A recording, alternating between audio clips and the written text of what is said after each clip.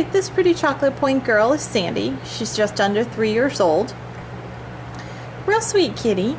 We like to call her a peekaboo kitty because she has a tendency to kind of um, dart in and out of spaces. She is very friendly, but she is a little bit shy and it takes her a while to get comfortable. Uh, she's fine with people, but she is a little timid around other kitties.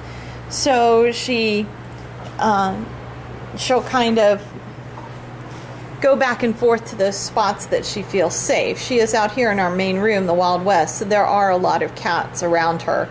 But she'd probably need a home where uh, she was with a very laid back kitty or someone who wouldn't want to dominate her. And uh, she's fine with people, uh, very friendly. She's not coming over to me right now, but she was actually winding around my legs earlier. I guess uh, headed off to take a drink. A real sweet kitty, good eater, good litter box habits. Just a shy, sweet little girl who needs a place that would give her some time and a chance to kind of get comfortable and uh, and just love her. So please ask about Sandy.